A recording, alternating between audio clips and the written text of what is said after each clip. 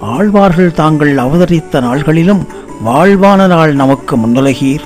ஏழ்வாரும் கொய்ய எதிராஜர் உதித்தருளும் சித்திரையில் செய்ய திருவாதிரை. இந்த பாசுரத்தினுடைய அர்த்தம் என்னவென்றால் ஆழ்வார்களெல்லாம் ஸ்ரீயப்பதியான எம்பெருமானாலே மயர்வர மதிநிறம் அருளப்பெற்றவர்கள். தாங்கள் அருளிச் செய்த பிரபந்த சக்தியினாலே ஊரும் நாடும் மக்களும் திருந்த வழிவகுத்தார்கள். இப்படி அவர்கள் அவதரித்த திருநட்சத்திரங்கள் எல்லாம் மிகச் சிறப்பானவைதான். ஆனாலும் அதைவிட வாழ்வான நாள் நமக்கு மண்ணுலகீர் என்று கூறுகிறாரே அது என்னவென்றால் சர்வ லோகங்களும் உஜ்ஜீவனம் அடைய வேண்டும் எனும் பரந்த நோக்கத்துடனே அனைத்துலகும் வாழப் பிறந்தவன் என்று சொல்லும்படியாக அவதாரம் பண்ணினார் நமது இதராஜர் பகவத் ராமானுஜர் ஜெகதாச்சாரியன். இன்னும் ஒருபடி மேலே சொல்ல வேண்டுமென்றால் கதிரவன் குணதிசை சிகரம் வந்தடைந்தான் கன இருள் அகன்றது வாஸ்தவன்தான் ஆனால் ராமானுஜன் என்னும் திவாகரன் சூரியன் அவதாரம் செய்தான். அஞ்ஞானம் பாவ இருட்டு மறைந்து உலகம் ஞான ஒளி பெற்றது. ஆகினாலே சித்திரையில் செய்ய திருவாதிரை அதாவது சித்திரை மாத திருவாதிரை நமக்கு மிக மிகச் சிறப்பானது என மணவாள மாமலிகள் மிகவும் அருமையாக சாதித்திருக்கிறார்.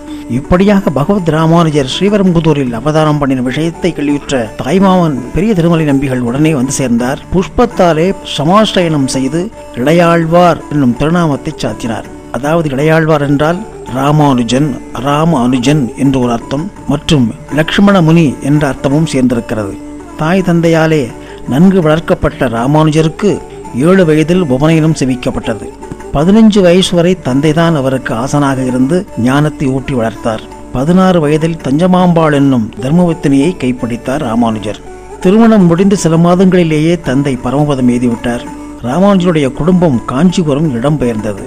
காஞ்சிக்கு அருகிலே உள்ள திருப்புட்குள் எனும் திவ்ய கஷேத்திரத்திலே யாதவ பிரகாஷ் என்பவர் பாடசாலை நடத்தி வந்தார். அவரிடம் வேத வேதாந்தங்களை கற்பதற்காக குருகுல வாசம் செய்தார் இளையாழ்வார். அப்போது அவரது சிறிய தாயாரனுடைய குமாரர் கோவிந்த பெருமாளும் அங்கு வந்து பாடசாலையிலே சேர்ந்து கொண்டார். குரு யாதவ பிரகாஷர் ஒரு அத்வைதி மாயாவாத கொள்கை உடையவர்.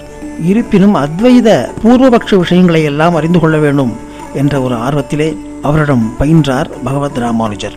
வேத வேதாந்த அர்த்தங்களை அத்வைத கோட்பாடுகளுக்கு தகுந்தபடி யாதவ பிரகாசர் கற்பித்து வந்தார். இங்கே நாம் ஒரு முக்கியமான விஷயத்தை தெரிந்து கொள்ள வேண்டும். பகவத் ராமானுஜர் பிறவியிலேயே ஞானம் உடையவர். அவர் ஒரு அவதார புருஷர்.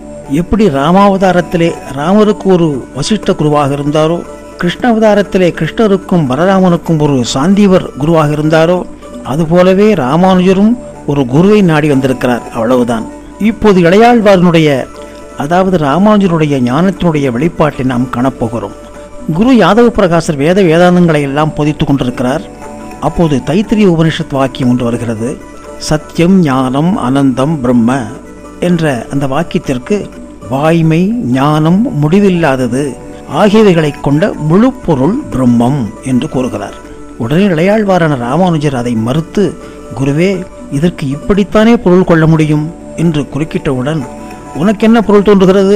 சொல் பார்க்கலாம் என்றார் யாதவ பிரகாசர் உடனே ராமானுஜர் வாய்மை ஞானம் முடிவில்லாத போன்ற பலவிதமான குணங்களை உடையது பிரம்மம் என்றுதானே பொருள் தருகிறது? என்றார். யாதவ பிரகாச கூறினார் ஒரு மாடென்றால் முழு கொம்பு கொண்ட மாடு அல்லது அரை கொம்பு கொண்ட மாடு அல்லது மொட்டை கொம்புடன் கூடிய மாடு என்று சொல்லலாம். ஆனால் மொட்டை கொம்பு முழு கொம்பு அரை கொம்போடு கூடிய ஒரு மாடு என்றால் என்ன அர்த்தம் இருக்கிறது? ஆகையினாலே பிரம்மத்திற்கு குணங்கள் கிடையாது. பிரம்மம் ஒரு நிர்குணம் என்று கோபமாக அதட்டி பேசி ராமானுஜருடைய வாயை அடைத்து விட்டார். இப்போது நாம் யோசிக்க வேண்டும். ராமானுஜர் சொன்ன பதில் சரிதானே? கல்யாண குணங்கள் நிறைந்தவர்தானே பகவான். அவரைத்தானே பரபிரம்மம் என்று நாம் அழைக்கிறோம். ஏன் வால்மீகி ராமாயணத்திலே வால்மீகி முனிவர் தனது ஆசிரமத்திலே நாரதரை சந்தித்தவுடன் கேட்ட முதல் கேள்வியே இதுதானே.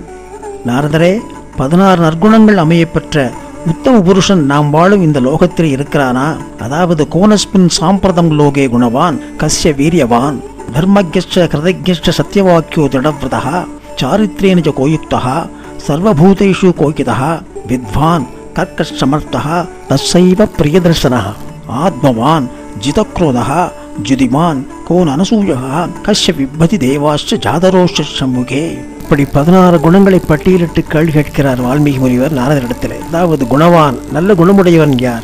வீரியவான் வீரம் பொருந்தியவன் யார்? தர்மஜ்ய தர்மவான் யார்? கிருதஜன் யார்? சத்தியவாக்கியோ ஜடவிரதக சத்தியத்தை பேசுபவன் அதிலே உறுதியாக இருப்பவன். சாரித்ரேனுஜ கோயித்தகா எவனுடைய சாரித்திரம் மிகவும் அழகாக இருக்கிறது? சர்வ பூதேஷு கோகிதகா உலகத்தில் இருக்கக்கூடிய சகல ஜீவராசிகளிடத்திலே அன்புடையவன் யார்? வித்வான் மெத்த படித்தவன் யார்? கக்க சமர்த்தகா எவன் ஞானஸ்தனாக இருக்கிறான்? தஸ்சைவ பிரியதர்ஷனகா பார்க்க மிகவும் அழகாக இருப்பவன் யார்? ஆத்மவான். ஆத்மஸ்வரூபத்தோடு சிந்தனையோடு இருப்பவன் யார்? ஜிதக்ரோதகா கோபத்தை ஜெயித்தவன் யார்? ஜுதிமான் கீர்த்தியுடையவன் யார்? கோன் அனசூயகா எவன் பொறாமை இல்லாமல் இருக்கிறான். கஷ்ய விபதி தேவாஷ யாரை கண்டால் தேவர்களும் அஞ்சுவார்கள்.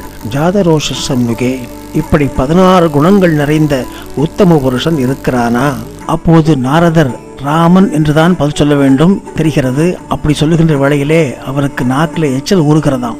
அதாவது இது எப்படி என்றால் மதுரகவி ஆழ்வார் சொல்கிறார் அங்கே தென்குருகூர் சடகோவன் நம்மாழ்வார் என்று சொன்னவுடன் எனது நாக்கிலே ஜலம் ஊறுகிறது தித்திக்கிறது என்று சொல்கிறார். கண்ணினும் சிறு தாம்பினால் கட்டுண்ண பண்ணிய வருவாயன் என்னப்பனில் நன்னித்தன்குருகூர் நம்பி என்னக்கால் அன்னிக்கும் அமுதூருக்கும் இன்னாவுக்கே என்று சொல்கிறாரே. அதுபோன்று நாரதர் ராமன் என்று சொல்வதற்கு முன்னாலே நாக்கில் எச்சல் அப்படியே அமிர்தம் ஊறுகிறதாம் அதை முழுங்கிக் கொண்டு சொல்கிறார் நீர் கேட்டீரே இத்தனை குணங்கள்.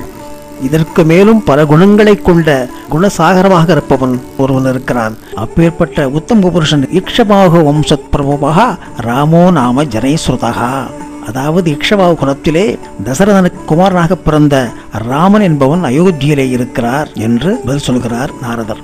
இப்போது நாம் யோசிக்க வேண்டும். ராமானுஜர் பகவானுக்கு பல குணங்கள் என்று சொன்னாரே. அப்போ ராமானுஜர் சொன்னது சரிதானே? பகவான் பல குணங்களை உடையவன் என்று தானே சொன்னார். ஆனால் ராதபிரகாசி ஏற்றுக்கொள்ளவில்லை. அப்போ ராமாயணம் பொய்யா? ராமா அவதாரமே பொய்யா? ராமனே பொய்யா? கிருஷ்ணன் பொய்யா? இப்படியெல்லாம் ஒரு கேள்வி கேட்க தோன்றுகிறது. இதெல்லாம் இல்லை என்று யாராவது மறுப்பார்களா? ஆகையினாலே நமது பகவத் ராமானுஜருடைய ஞானம் அங்கு வெளிப்பட்டது. ஏனென்றால் குருவுக்கும் குருவானவர் அல்லவா? ஆகையினாலே அப்பேற்பட்ட பகவத் ராமானுஜர் அந்த ஜெகதாச்சாரியன் சொல்வது உண்மைதானே? மேற்கொண்டு தொடர்ந்து பார்க்கலாம். தற்போது ஜெகதாச்சாரியனுடைய திவ்ய பாதங்களுக்கு பல்லாண்டு வாடி